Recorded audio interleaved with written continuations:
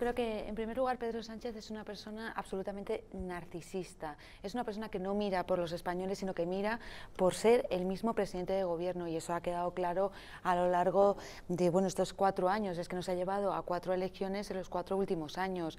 Y las últimas elecciones han sido consecuencia de que Pedro Sánchez pues, creía, porque le había aconsejado el CIS y Tezanos, que iba a obtener una mayoría abrumadora y que iba a poder gobernar sin apoyo de ningún partido político, sin condiciones de ningún partido político.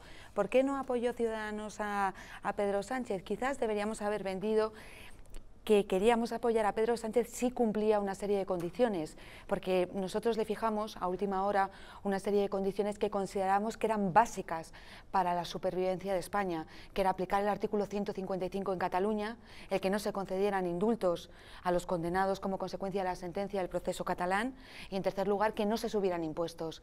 Esto eran exigencias por y para los españoles que nunca iba a aceptar Pedro Sánchez. Quizás teníamos que haber vendido que sí hubiéramos pactado si se hubieran cumplido esas exigencias mínimas constitucionales, pero en el fondo Pedro Sánchez y el resultado aquí, bueno, pues lo quiero adelantar, nunca hubiera aceptado esas exigencias porque él, em, su modelo de gobierno no es un modelo de gobierno progresista, sino narcisista.